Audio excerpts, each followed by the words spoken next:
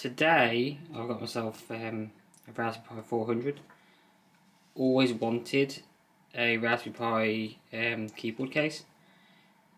Tried making one in the past, didn't go so well.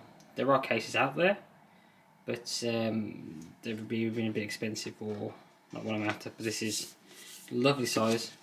This is the full kit, which comes with the mouse and a few other extras. So let's have a quick look, shall we? I mean, this isn't the case, this actually is a full computer. That wasn't 100% clear. I mean, so this, this is the keyboard, well, computer itself. We have, it's reasonably thick. We've got some, I suppose, cooling vents underneath.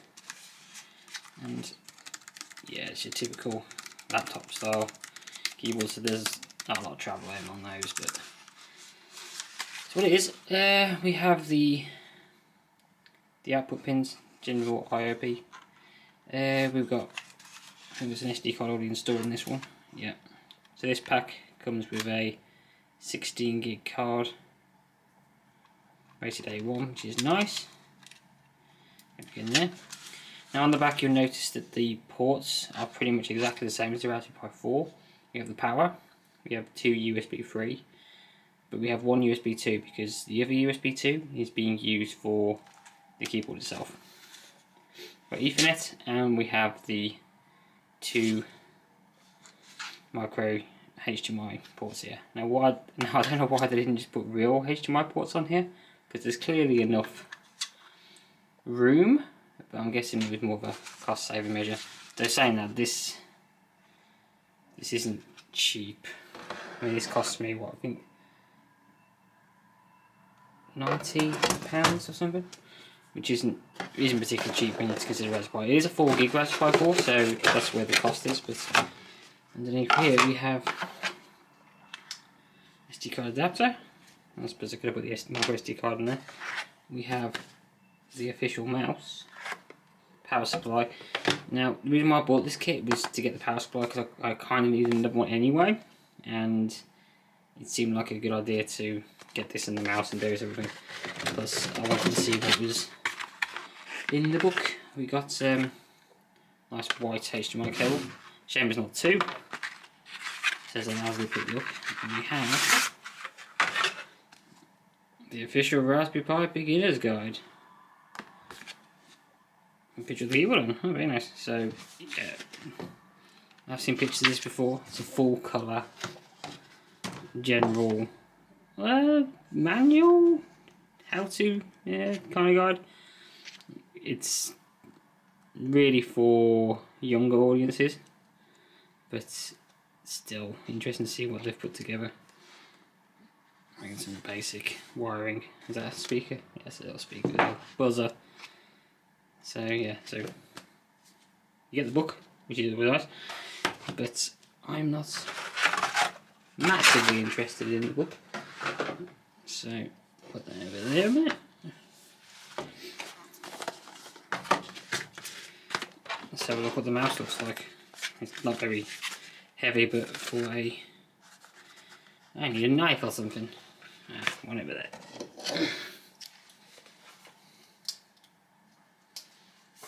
Just pop this open. Very quickly. There we go. And then here we have Advance, which is in a very stylish, rather probably red and white.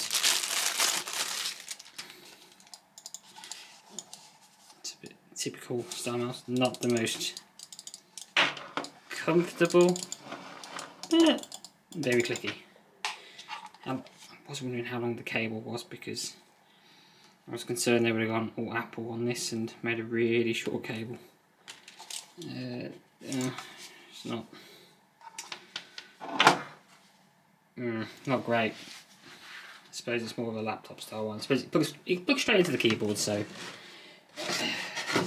that's fine. There's thing going to use for this anyway. Well, I'll probably use normal mouse, but it's nice to have spare.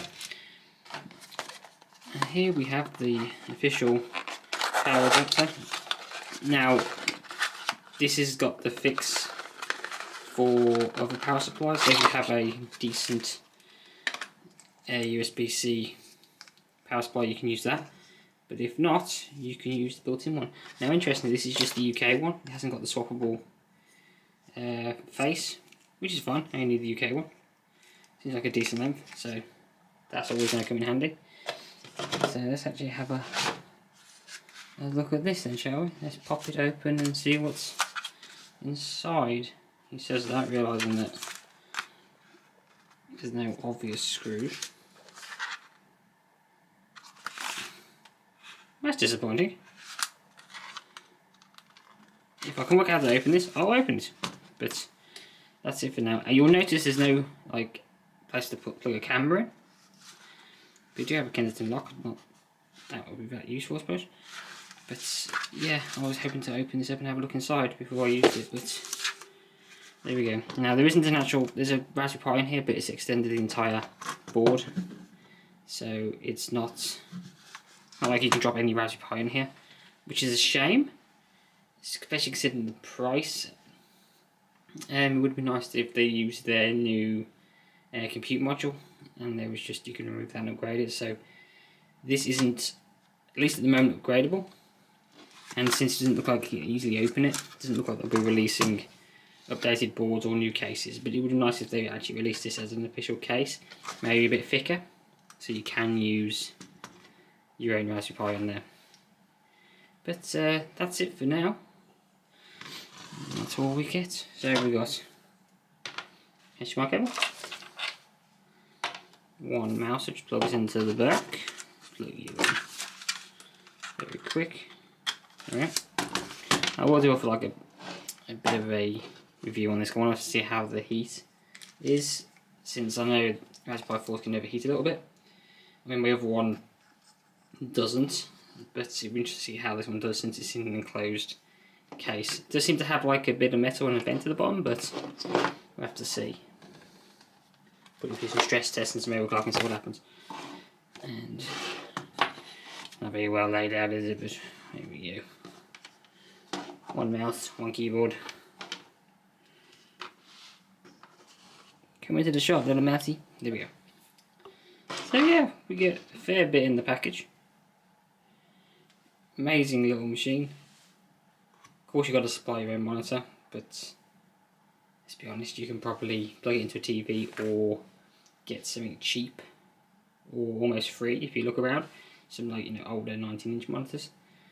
And I hope people do that because I don't want people buying this and then getting brand new monitors. I, I'd like to see people recycling older stuff, especially for something like this, since it's more for, uh, you know, the old like ZX Spectrum, that kind of thing, bedroom programming, little keyboard, there's the whole computer, go off and go make something. So I'd like to see a lot more of that, and that's what they're aiming for with this. Uh, but we'll have to wait and see what they come out with next. I'm a bit disappointed overall with it especially with the price and the fact that it still isn't a proper HDMI cable. But uh, I believe in the current climate and stuff, it was probably the best they could do with the price. So we'll have to see how it goes in the future. But certainly worth picking this up if you're into a little bit of coding or want to try out a bit of a Raspberry Pi experience. Of course, you can install like RetroPie on here and use it for a little games machine so I might have a look at that later myself. Um, but overall, it's a very interesting looking machine, and I will do another, a few videos later having a play around with it. Because I have some ideas what I want to do with this one. Normally I buy a Raspberry Pi with half an idea and I sit in the drawer for six months. This one will be used uh, very well, hopefully in the next few weeks, depending on my schedule. But there will be some videos regarding this later. So that's it for now. Goodbye. Uh, and if you enjoyed this video, please look at some of my others. There will be a review coming out of this. Uh, please like, um, leave a comment, and of course, if you could subscribe. This channel is still very early days, and I need every subscriber I can get, just so uh, I can, well, get some ad revenue and cover my time and give you more in-depth content. So that's it for now. See you next time.